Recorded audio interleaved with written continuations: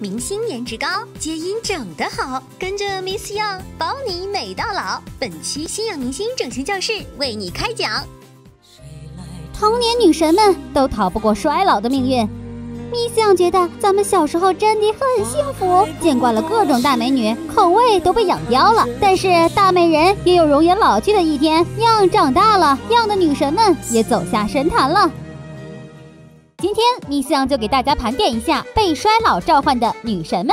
首先是姑姑李若彤，气质出尘，长相淡雅的小龙女，曾经是多少人的梦中情人。当年样也是她的颜粉儿。今年已经五十三岁的她，岁月不可避免的在脸上留下了痕迹，尤其是时隔二十多年后，在荧屏前的状态，眼窝凹陷，法令纹明显。样作为颜粉儿，真的很心痛了。我的小龙女呢？我的姑姑呢？衰老什么的都冲我来。冷静下来，仔细给大家分析一。下姑姑衰老的迹象，先是从眼睛，年轻时的深眼窝、高眉骨，显得五官立体大气；年纪大了后，这些特点开始反噬美貌，反而更不抗老。不过眼窝凹陷也不是完全不可逆的，用脂肪填充起来就好啦。除了眼睛，第二个衰老的部位就是她的鼻唇沟，年轻时面部饱满，都有些痕迹，现在加上软组织流失，苹果肌下滑，鼻唇沟就更深了。不过别担心，这点也是填充就可以解决的。最后还有她的嘴巴，对的，你没有看错，李若彤。也有轻微的凸嘴，可在这种美貌面前，这点小瑕疵根本不算什么。但是稍上年纪，当嘴周软组织流失，凸嘴的效果就会显现了。这个，